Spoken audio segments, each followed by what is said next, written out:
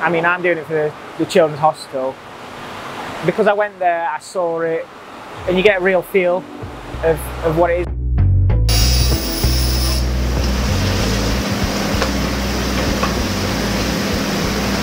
My name's John. At Just Jigsaws, we're trying to make the world's largest jigsaw puzzle. Hello, I'm Gary Zillett and I was involved in the very first world record and now I've been waiting 50 years to have another go at it now. My granddad did it 50 years ago, so we wanted to do it again because it's our 50th year anniversary. We're hoping it takes three, four months.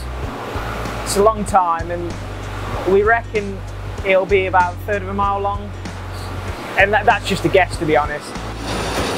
Wait, my finger's supposed to be nearer the top, aren't they? My granddad was making jigsaw puzzles since he was about 14, 15.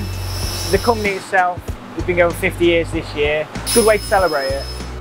Uh, I mean, my granddad passed away maybe 10 years ago, so we never got the chance to do it. Decided to support the charity. Um, my missus, when we went to get a car service, the hostel was next door and I rang them up said I've got some puzzles to donate because I just had some stuff on the side. He said, yep, come on today. And I just saw how big it was and it's, it's quite staggering really. It's huge and it, obviously puzzles and children, it's pretty, pretty easy connection for me anyway. we reckon the puzzle itself, piece-wise, be between 120 and 140 thousand pieces. Um, it just depends how many people we get on board, how many people sponsor it, for the design of the puzzle and what's going on it, we're obviously asking local businesses mainly. So I'm trying to make it more of a Derbyshire themed thing anyway. It's just going to be a massive collage of businesses around the area really. Well, I've been waiting 50 odd years now to have a go at it again. So, and uh, John's granddad, he did the majority of the, the first one.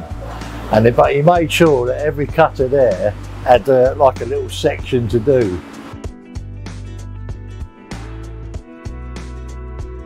It just, I just think that's, for us it's ideal just to be able to make puzzles and donate. And you have such a big, big place, I, you know, it's probably where I can make the most difference.